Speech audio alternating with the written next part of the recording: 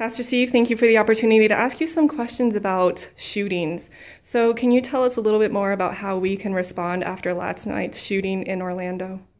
Yeah, you know, there was a huge tragedy. Over 50 people were shot and killed, three more injured.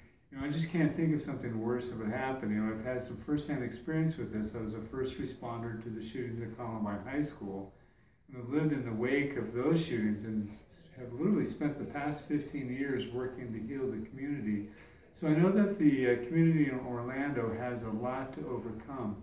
But you know, one of the things that I really believe in is we all have a lot to overcome.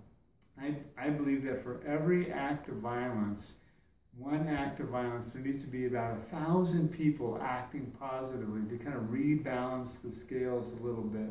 And so we had 53 acts of violence last night. It means we need to have 5,300 people dedicated today for the next several weeks doing intentional acts of kindness and compassion.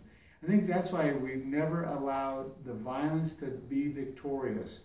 We never allow the violence to be victorious because we're victorious. We're the ones who bring the kingdom of God into the middle of our lives, into the middle of our world, by committing ourselves to intentional acts of kindness and compassion. So our hearts go out to all the people in Orlando our hearts are with them as their hearts are broken, especially this next coming week. But literally, with them, over the next 15 years, it takes that long to heal. So join with us, join with me as we remember the people in Orlando, Florida. Amen. Thank you, Pastor Steve.